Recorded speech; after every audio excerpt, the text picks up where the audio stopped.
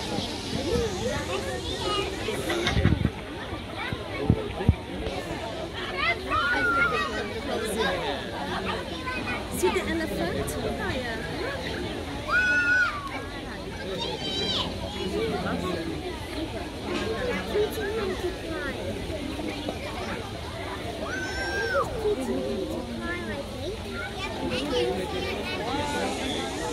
Take a picture. Take a picture of it on there too. No, you can't get that. Everybody doesn't want to right? Yeah.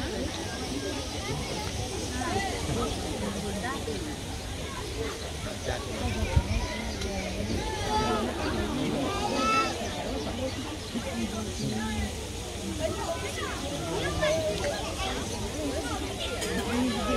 what we talking about. There was no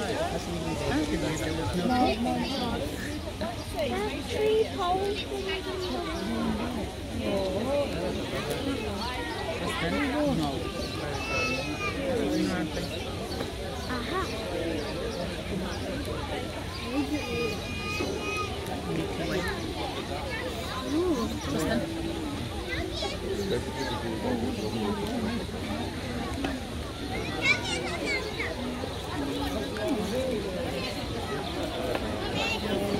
Okay, hey guys, welcome to Auckland Zoo today and to our elephant clearing. Uh, a bit hard to see at the moment views down the far end, but she will be heading down your way. Um, this is the lovely Burma, and she's joining us for our encounter today.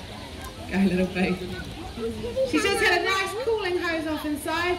It's a very hot day, so it's important that we try and keep both Burma and Anjalee as cool as possible throughout the day. So that generally means lots of hosing off, a bit of play in the pool, of course spending some time in the shade and also encourage them to have a play in all the different substrates. So we've got the mulch here, sand pile over by you guys in the grandstand and some nice piles of dirt down the back as well. Now Anjalee's hanging out inside. Um, she just had a little bit of a training session out the back and so she's going to hang out and enjoy some tasty food since she did so well. While Emma is working with Burma out here. Now it's important for these guys to have a little bit of uh, space from each other and um, a bit of time with that sort of one-on focus and, and um, on their own. So hey boo, good girl. And so we like to make sure we give them that opportunity at different times throughout the day.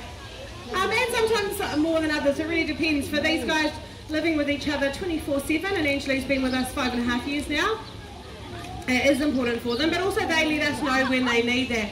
There's quite a lot of uh, goes on with the dynamics of these two, uh, more so because of Anjalee's hormonal estrous cycle. Um, and so there are times where they really don't want to be anywhere near each other and times where they don't want to leave each other. So we just work around that and make um, make make it work and of course whatever um, suits them is best for them. So with Burma she's going to be doing a few different behaviours um, throughout her session. We like to try and keep it different, but of course we also want you guys to be able to see some of the things that we do on a regular basis to make sure that we can check them over and that they are staying nice and healthy, so those are husbandry behaviours. And of course these guys also have a huge range of natural behaviours. So natural behaviours are things that they would be naturally doing um, as elephants, either in the wild or wherever, so it's about encouraging a lot of those behaviours as well. And so at the moment for Burma, some stretching is really important before she gets up to too much, especially lots of walking and climbing. I mean, it's because at 38, she's technically, I guess you'd say on the later scale of middle age for an elephant, they tend to live between 50 to 70. Anjalee's a fair bit younger at just 14. And she's still got a little bit of sort of growing to do as well. But for Burma, that stretching is important. We want to make sure that those muscles are warmed up and that those joints are freed up and um, basically able to give her the best opportunity to have fun and, and manoeuvre her body around without hurting herself. Just like we stretch before we exercise, it's exactly the same for these guys. And because Anjalee is only 14, she is very playful, she's full of beans. Burma does like to join in with that play, so we want to give her that best opportunity to feel really good, um, and that allows her to run around and have a good time. And then of course, um, after that, or sometimes before it really sort of varies, she also gets a massage most days of the week. So again, that massage can might help her feel better, which encourages her to play more. Um, or it can act as a bit of a recovery after she has had a really big play. Anjalee tends to do a lot of running back and forth around the paddock.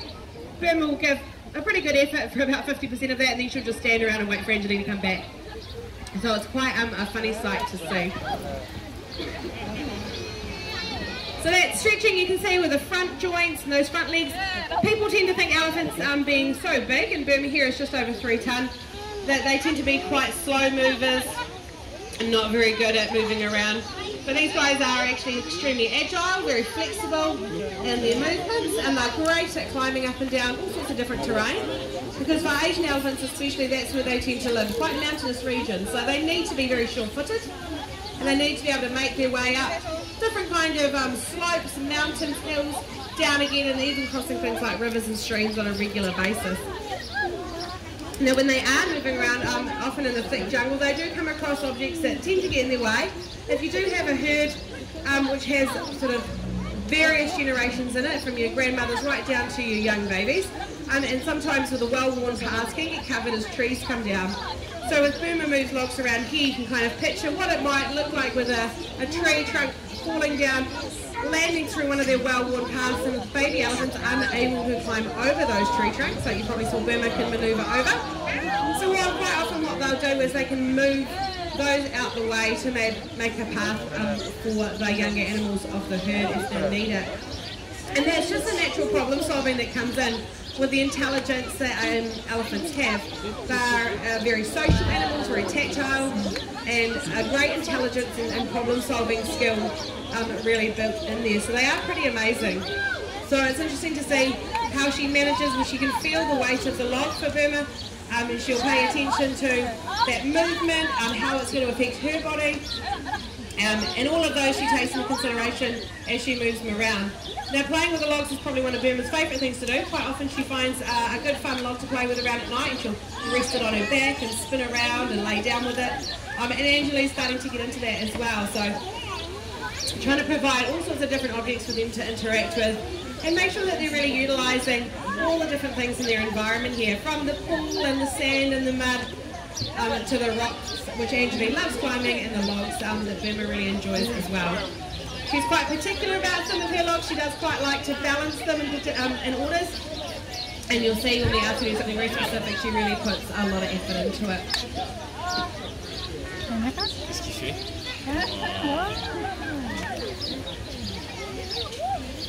So that log there that she's pushing really isn't very um, heavy at all. It's quite a small log, I guess, if you look at some of the larger ones in here.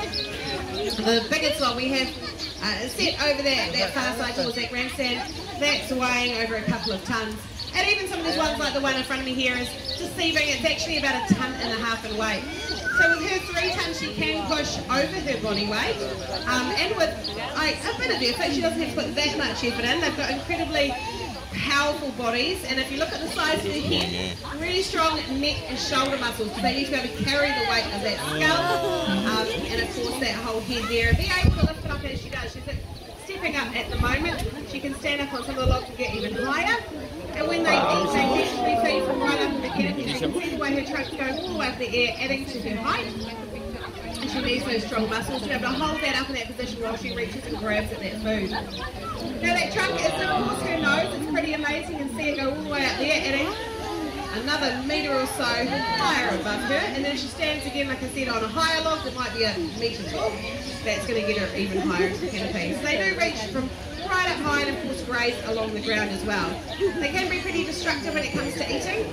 And because they eat so much they get through about 120 to 150 kilos of food every day and because we like to feed as close to a natural diet as possible that means tons and tons of vegetation so all sorts of different types of trees from banana palm and sugar cane to palm trees uh, willow, puka, Moreton Bay figs and of course loads of different species of bamboo as well which is a really good natural um, diet for them.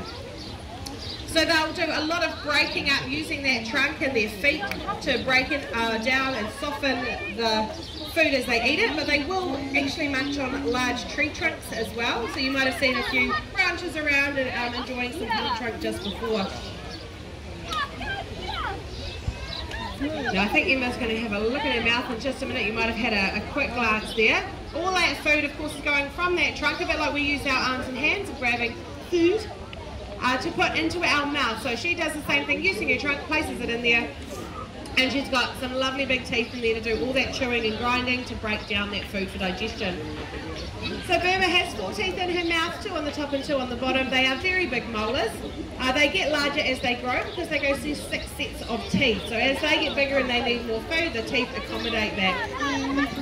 So at 14 Anjalee's teeth are still relatively small. Burma's here about the same size as a house brick um, weigh about a kilo each as well with a really big um, sort of root base through into her gum. A little bit more stretching there for her. It's a, an amazing way you can see the way she can manoeuvre her body and stretching all those different muscles. Now you might be able to see as she does lift her trunk up, it leads into that upper lip, and um, on either side of there we have her tusk. So this is where we, um, Asian female elephants grow their tushes. The tusher is a smaller, undeveloped version of a tusk, which of course elephants are pretty well known for. You will find the male Asian elephants growing the large tusks, and both male and female of the African species. But again, it does come down to genetics um, and that genetic pool of if there are tuskers breeding to continue on that genetic trait of the elephants. Um, probably something that's been quite well known for a long time and has affected elephant populations. Not as much these days, but definitely a lot in the past is the poaching of ivory, which is, of course, those tusks. So when you start um, eliminating, I guess you could say, that those um, genetic lines, because to take an elephant's ivory, they don't give it up for free. Um, the poachers have to kill the elephant to get it. So when, if they aren't able to breed um, because they are being killed by poachers, then you're getting a lot of the, the non-tuskers breeding and you might end up with a complete generation of elephants that don't grow any tusks or tushers. So they are like us in the way they've got um, all individual traits and genetics that come through their DNA um, as they have been bred in sort of kind of like a family tree, you could say. That skill there of using her foot as well to balance and manipulate it and also using that powerful jaw um, she can often put the logs right up into there. That gives her an extra bit of strength or grip. And we get that one Burma. That one's a bit awkward. I think it's stuck under another log. It's a bit bendy. You can use that jaw to, to grab it. So again, another, I guess, another great use. And that amazing nose as well. The way it can curl around. It's got no bones in it. It's made up completely of muscles. Um, but the strength that she has and, and the ability to be able to twist and turn it, maneuver it, and the strength is pretty amazing. Now the only thing that does go through the nose is like ours, it's air. She has two nostrils, just like us. But she can suck water up into her nose, which I obviously don't recommend for us, and she'll blast that back into her mouth, and that's often how they drink. Burman Anjalee, but lucky here, of course, we've got hoses. They quite often like to just grab the hose, pop that in their mouth and have a good drink. Because in the wild they wouldn't naturally come across water sources that often, these guys tend to drink a large amounts, but not very often. So you might see some of your domestic um, animals go to your water bowl and drink fairly regularly. So these guys, they may only drink uh, once every couple of hours, but when they do, they will drink um, tens and tens of litres. So in her trunk, as it stands at the moment, Burma probably holds around 9 to 10 litres at each drink. She may fill up that trunk three or four times, if not more, and then do the same a couple of hours later. They also have this amazing ability to store some water further down their throat in a pouch. So on those really hot days, if there's no water around but they need to help cool their body down, she can reach her trunk down into her throat, suck up that water and blast it across her body. So they are pretty amazing with all the adaptations they have for the environment around them. Now because they can't actually sweat, they do rely on that environment, so like cooling herself down that way, spending time in the shade, and you'll probably also see as she's moving around, and she gets hot, those ears will start to flap.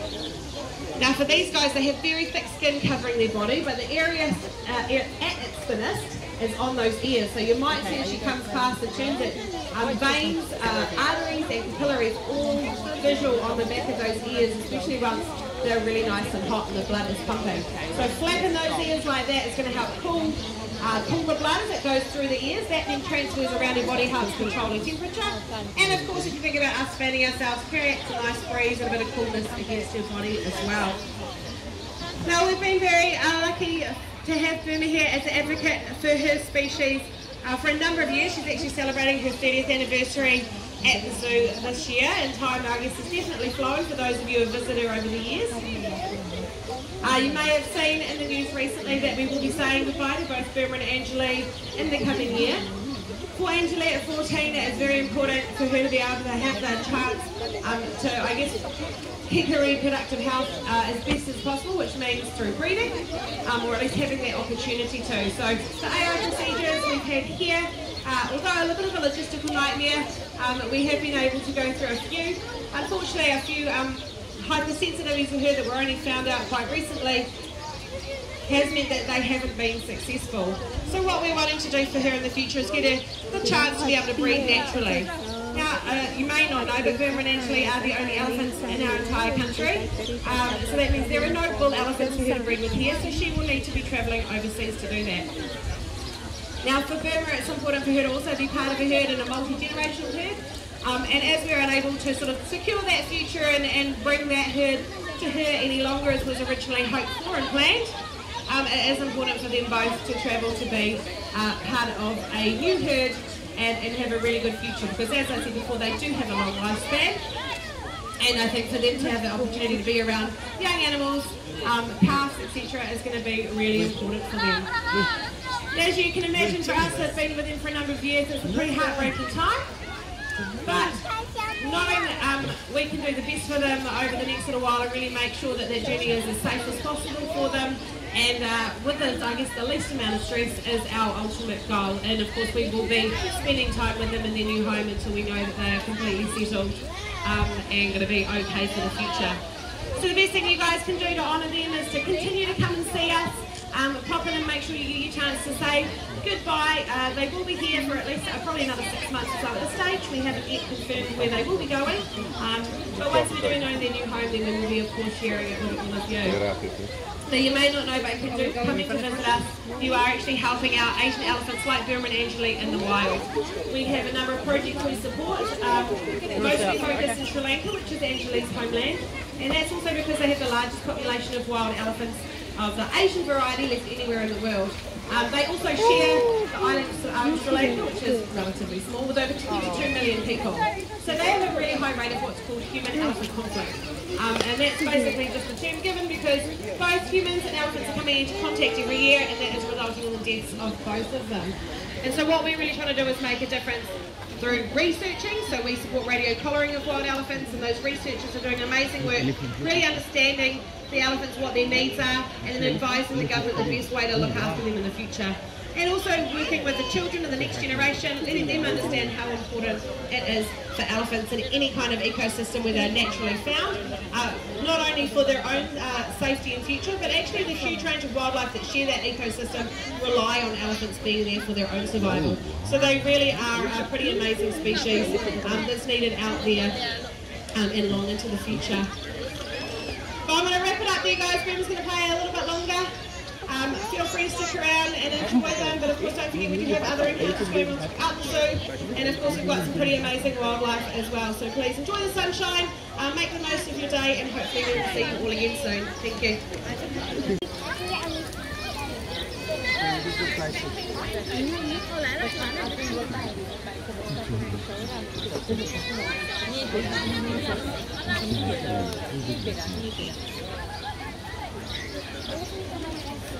야,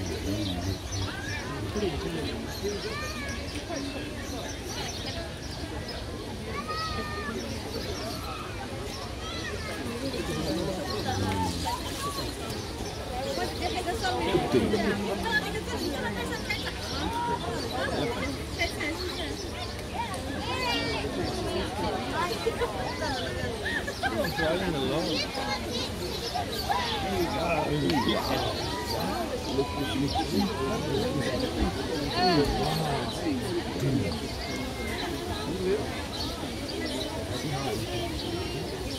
elephant, huh?